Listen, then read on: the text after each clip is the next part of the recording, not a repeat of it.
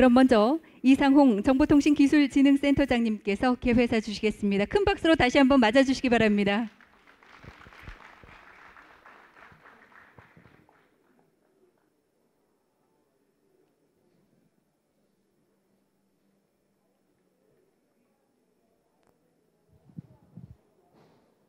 예, 안녕하십니까. 정보통신기술진흥센터 센터장 이상홍입니다.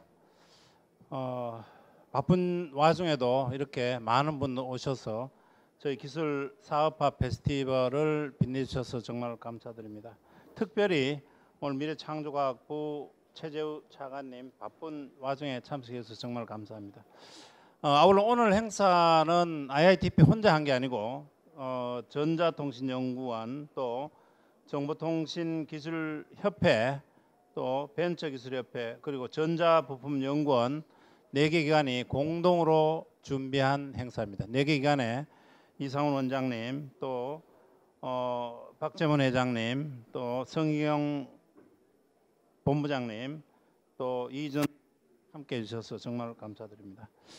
어, 4차 산업혁명 이야기를 많이 하고 있습니다. 4차, 생, 4차 산업혁명이라는 파고를 어떻게 넘을 것인가 또 4차 산업혁명을 이끌 기술을 어떻게 확보할 것인가가 개인이나 기업뿐 아니라 국가의 경쟁력을 확보하는데 가장 중요한 요인이 되고 있는 것 같습니다.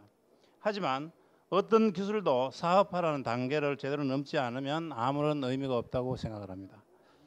오늘 어, 이런 기술 사업화 페스티벌 열게 된 이유는 바로 이 사업화 단계를 어떻게 하면 좀 더 쉽게 넘을 것인가 하는 고민들을 함께 하기 위한 자리입니다.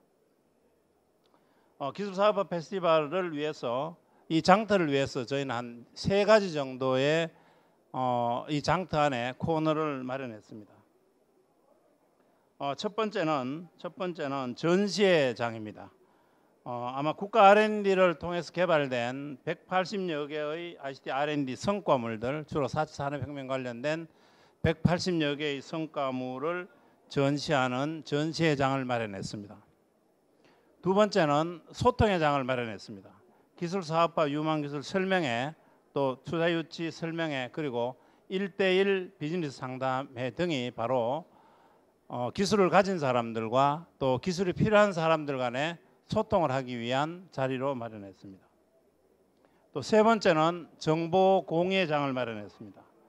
사업화와 관련된 다양한 정보를 공유하기 위해서 기술 사업화 성공 사례 발표도 이 안에 포함이 되어 있고요. 또 기업 관계자들의 의견 수렴을 위한 공청회도 준비되어 있습니다.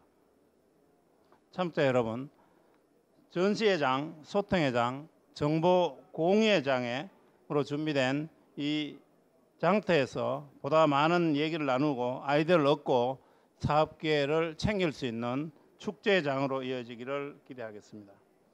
다시 한번 이 자리에 참석해 주신 분들에게 감사의 말씀을 드리고 또 함께 이 자리를 준비해 주신 모든 분들께도 감사의 말씀 드립니다. 고맙습니다.